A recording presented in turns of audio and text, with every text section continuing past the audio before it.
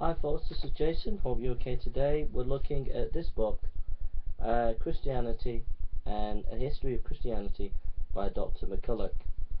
He writes on page 215 about Nicaea to Chalcedon. Arius himself faded from public life and although pardoned by Constantine eventually died obscurely, reputedly as the result of an acute attack of dysentery in latrine in Constantinople, which circumstance it afforded his enemies some Christian pleasure, and was eventually commemorated with an exemplary lack of charity in the Orthodox liturgy.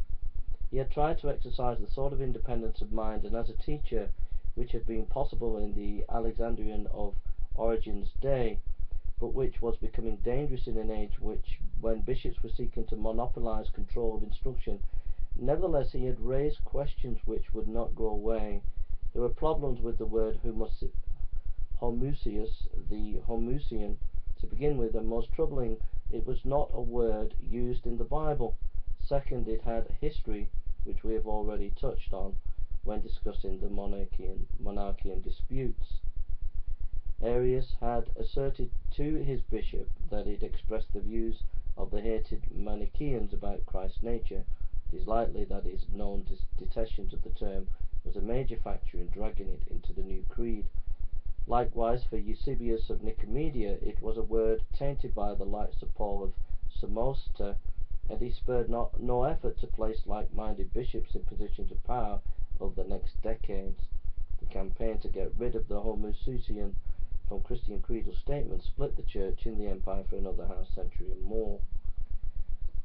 Now, what I find interesting here is he spends more time talking about Arius really than he does I think about Irenaeus, uh, Athanasius really.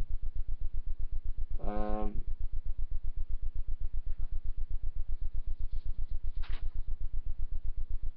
hmm.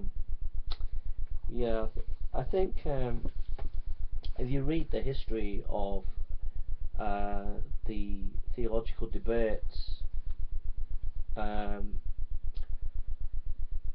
that were surrounding um, that were coming up to the Council of Nicaea and then during the Council of Nicaea and after it's a very very complex history. Um, and you can't capture that history within a couple of pages like MacCulloch here even though this is a massive history it's a general survey really and you can't really even begin to get into that history without really getting into the source material yourself. Um, so his explanations are simplistic because the actual complexity and the richness of that history cannot be computed in just a couple of pages. Uh, I think the, the historian here is on dangerous ground when he's talking about uh, theological language and some of the theological language that the, the, specifically here in this case the Orthodox are using is not quite cutting mustard. Um, I think you're on dangerous ground from a theological perspective to say that um, you need to explain how you're not being biased by saying that, and I don't think he does make it clear why he thinks he's not biased in making a statement like that. So if you're going to make a theological statement about theological language, you better be in a position to explain where you're coming from on that issue, and I don't think he does as a historian. Um, I think that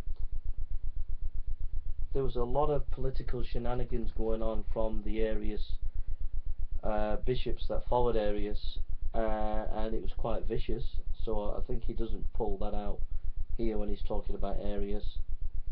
Um, and it again, it comes down to perspective. Which side of the fence are you on in the history of this history? Are you on the side of Athanasius? Are you on the side of Arius? Uh, if you say you're looking at it objectively, then um,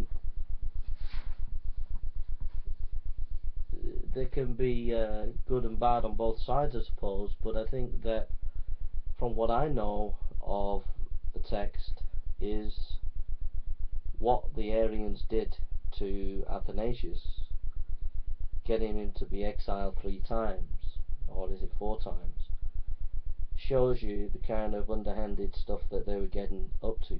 Um, so for me, uh, I think this is a too simplistic reading of Nicaea uh, and the life of Arius. Okay, thank you.